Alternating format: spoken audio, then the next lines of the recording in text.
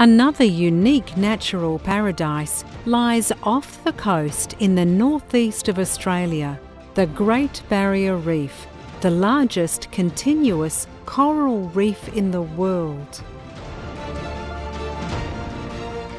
The Great Barrier Reef extends over a fabulous length of over 2,300 kilometres and is almost as large as Switzerland. The archipelago is so vast that it can be seen from space with the naked eye.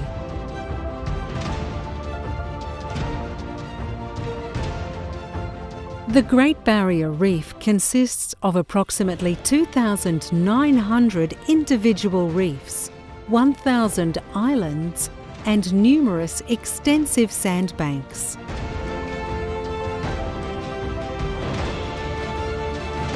The natural paradise is the habitat for hundreds of species of corals, fish, sponges, mollusks, and echinoderms.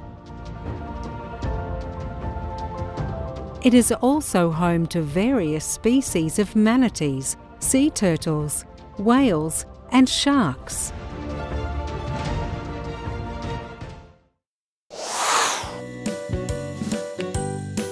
The koala is mistakenly called a bear because of its cute appearance.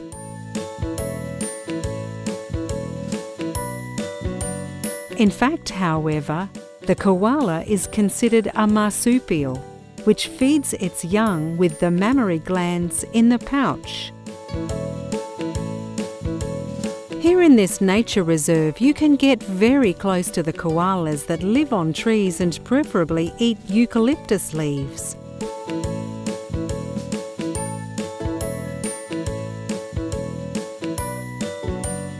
Furthermore, you can learn a lot about their way of life in lectures.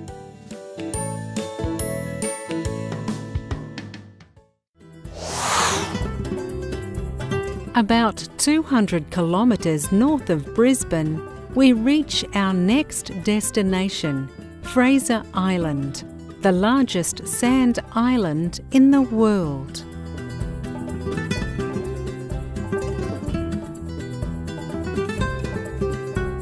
Fraser Island is more than 120 kilometres long and an average of 15 kilometres wide. The island is one of Australia's most popular attractions and has been a UNESCO World Heritage Site since 1992.